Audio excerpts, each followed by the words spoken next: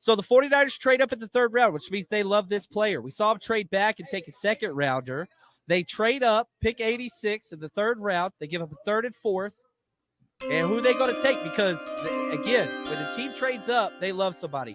Tackle Dominick Puni out of Kansas. This is an ant pick, O line versatility. All of you O line haters, you got what you wanted. Ant, walk us through this dude's game because he can play a lot of spots.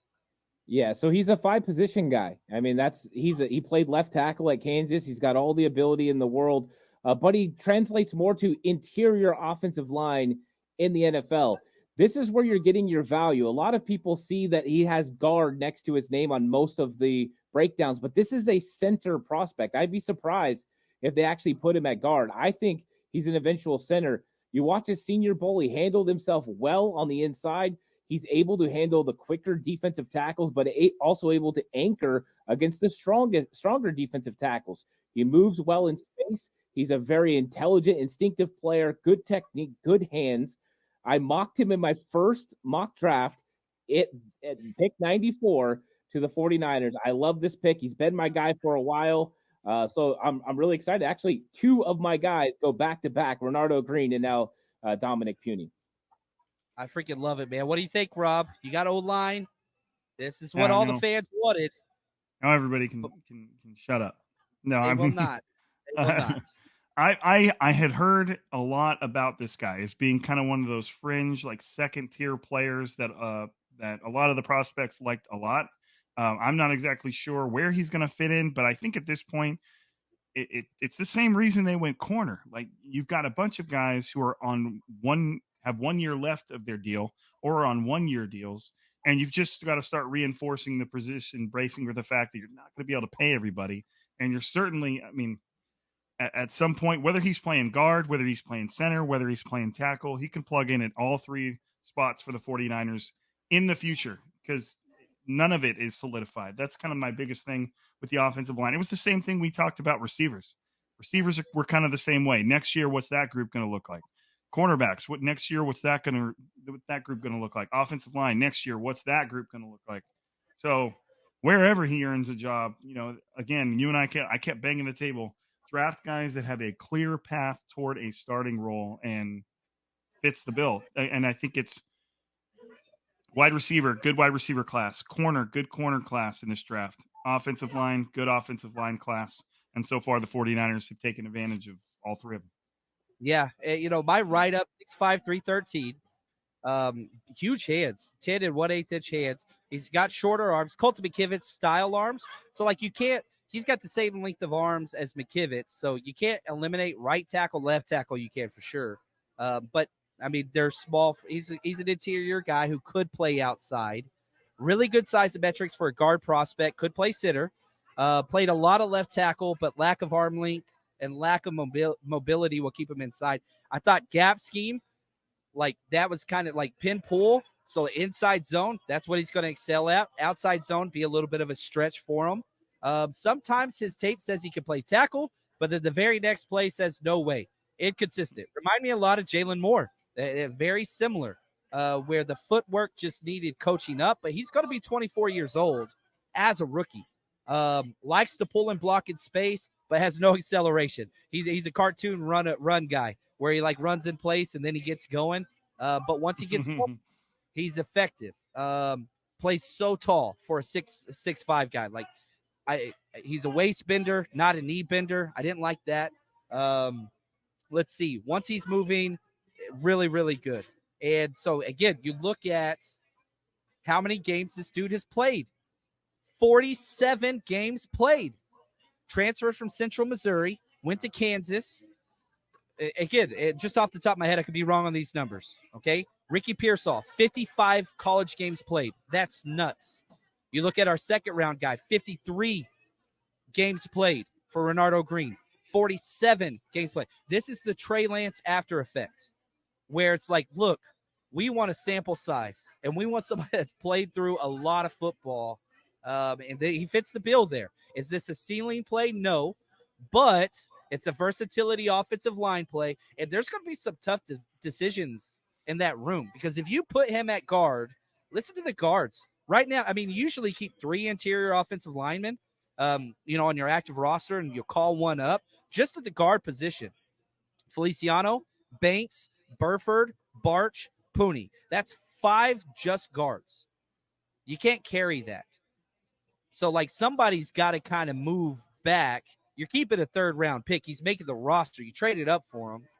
So, Rob, kind of what are your thoughts there on that guard room? Like, what's that look like now?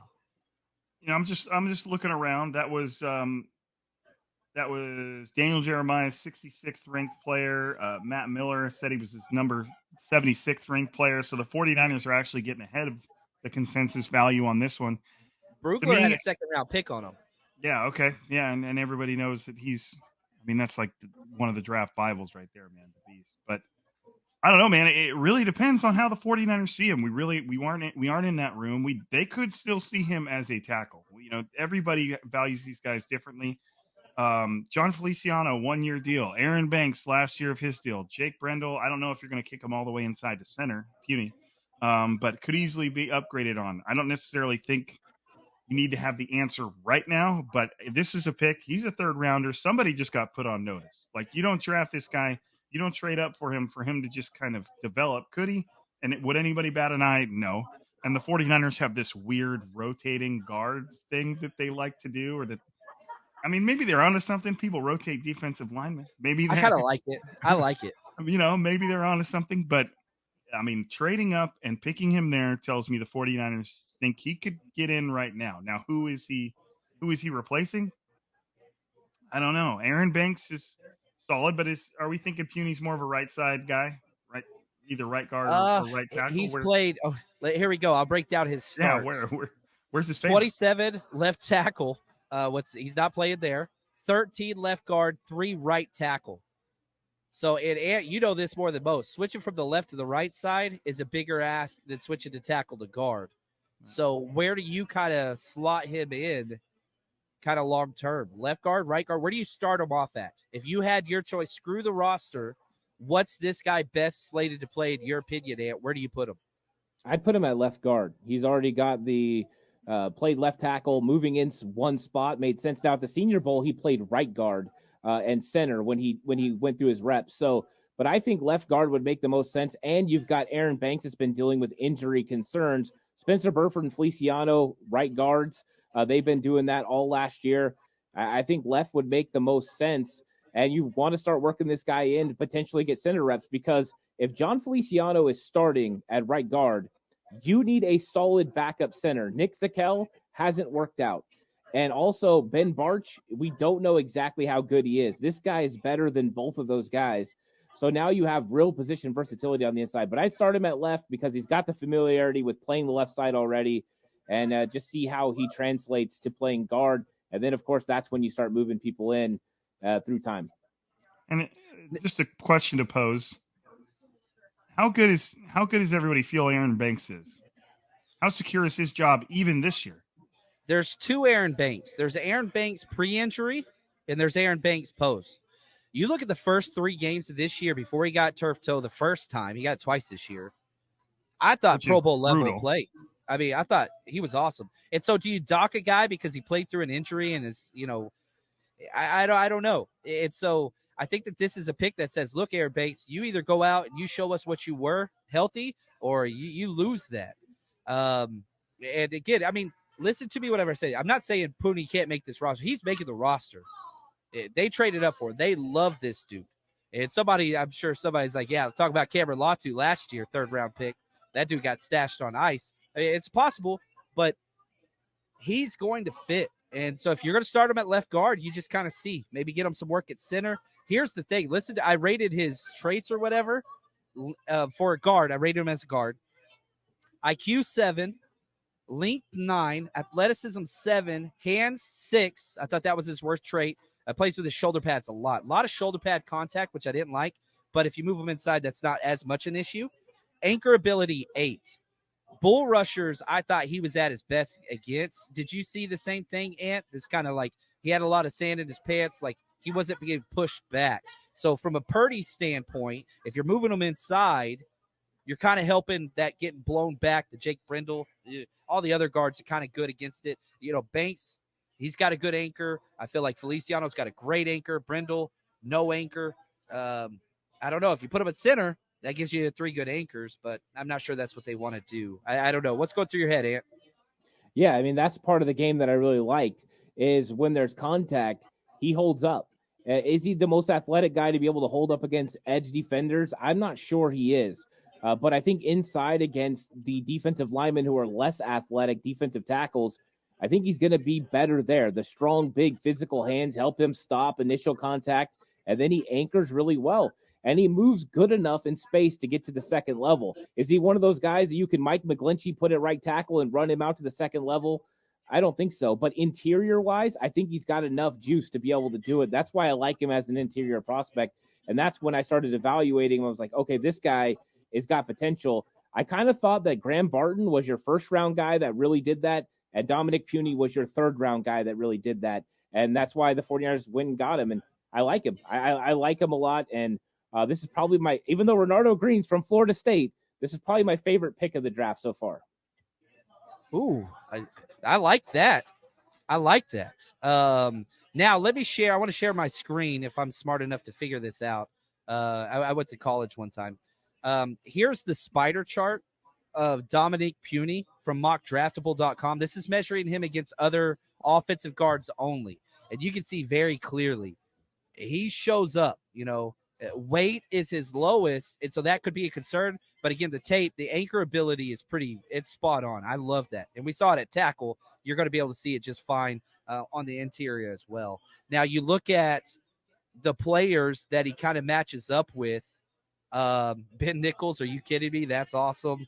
Uh, you love to see uh, Lucas Nix. All right, so not like a lot of main names on there, but you switch some stuff around interior offensive lineman, Zane Beadles. Yeah, that was a Niners guy. You know what I mean? Like there's some mm-hmm. fits there. Eh, and so you see some of the carryover. Joshua Jones out of Houston, Eugene Monroe. Like there, there's some things there. But the metrics I like. And I, I think that like you said, Graham, this is a poor man's Graham Barton. And, and I know some people don't like that tag or whatever, but Graham Barton light, whatever you want to call it, with a lot of experience, a lot of playing time, uh, football family. I, I don't know. I'm curious to see what they're going to talk about when they talk about him. If they're going to say versatility 15 times, or if they're going to say tackle or guard. Uh, I mean, I was I was just reading what Matt Miller had to say right now. He said his number 76 overall player on his board. Puni is a plug and play starter at guard who had experience at tackle in college. 49ers right side of the offensive line has been an issue with no notable long-term answers at any position from center to right tackle. And obviously, we can throw. We know we can throw left guard into that mix too because Aaron Banks is on one year left. Puni should get every chance to be the team's week one starting right guard, but could even get looks at the right ta- at right tackle if the team likes his transition there. So I think Feliciano's our best, second best player for sure on the O line. I think it goes Trent, Feliciano. Uh, maybe you kick Feliciano inside put him at center. But he's done it, and you put him at right guard. Now that's you talk about getting your best five. You talk about getting your best five. Now John Chapman just got excited. You you mean to tell me there's a possibility Jake Brendel won't be out there? And I like Jake Brendel, but let's just be honest. Like that lowers the run, Shanahan, everything. I, I don't know. I would not be. I, I'll sign up for that right now. Am I crazy? Does anybody else think that that's a decent idea? Get your best five out there. Feliciano it, at center, and oh, yeah. Anytime you can get your best five out there, that's what's important. Uh, we've heard you know a lot of times Coach Foerster talk about the fact that Feliciano's best position is center. Uh, so if you do have a situation where he could beat out Jake Brendel, he's second year in the system. It's not that weird. We had a rookie start at guard when it came to Spencer Burford, and now it wasn't supposed to be that way. It was supposed to be Daniel Brunskill, but what do we talk about with Daniel Brunskill, a guy with versatility? Guess what? Dominick Puni is a Daniel Brunskill type of player. Uh, so you're getting that versatility. Foerster loves these guys.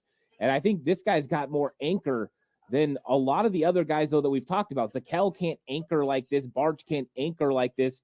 Uh, so you're getting a guy, like you said, now we're not going to get that pocket movement. Nobody getting right on top of Brock Purdy. That's going to give him more ability to step into his throws and make plays down the field eh, this is the kind of guy you want to get, and it's a solid pick in, in round three.